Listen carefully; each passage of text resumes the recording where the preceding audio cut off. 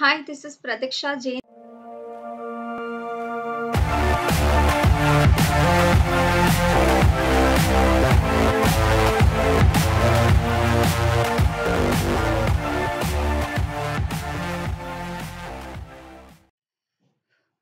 A machine learning model can be deployed with the help of PHP and Python together.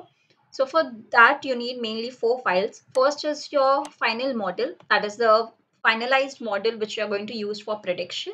Uh, you need to create a pickle of that. After that, you need a form. That means a page wherein the user will be able to enter the values. I have a PHP file which acts as a bridge between the Python file and my form. So what this PHP file is doing is, th this is taking the temperature and humidity from the form, fetching it from the form and storing two different variables that is my dollar temperature and dollar humidity. These two variables are further used for prediction of the crop. So these two variables value is being uh, sent to python file.py and there is a command run that is shell, shell underscore execute. Now let's go to the python file. This python file has all the required modules. You need to import all these modules as you have created a model with the help of these modules itself or whatever required modules you have created or, or, whatever required modules or files that you have uh, mentioned during the time of creating a model or training model, all those required Im imports, you need to give it here also.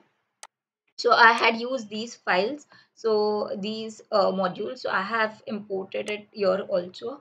And as this is a .py file, so I'm opening my uh, final underscore model, that is my model, which is in this format after performing pickle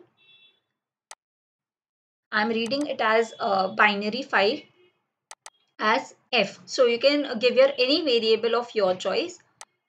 Now after this I have uh, I have a command pickle dot load wherein I'm loading this f that that is that is the variable after reading the final model in RB format. So that has been stored in FM variable. Now I have a variable data wherein I have stored a array format data. Now which data? The temperature and the humidity data. So I have uh, read those data in the form of a command line mostly. So that has been stored uh, using numpy that is np numpy in array format. Now that array, that variable, this variable data is being sent for the for prediction.